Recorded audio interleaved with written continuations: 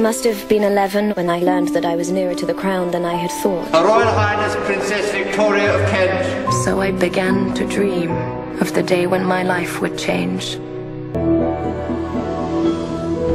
And I prayed for the strength to meet my destiny. From now on, everyone will push you and pull you for their own advantage. You're too young. You've no experience. Get out of my way.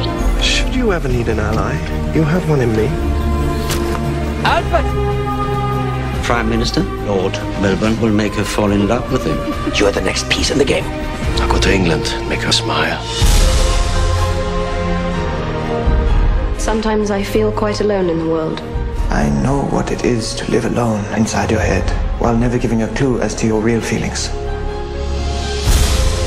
She found the courage to follow her heart and to discover her destiny. Her Majesty the Queen.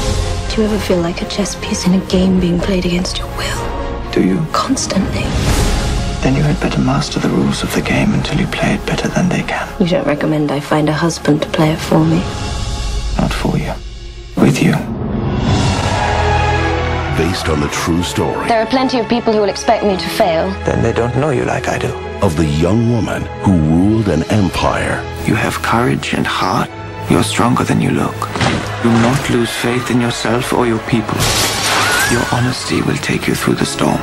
and the passion that ruled her life.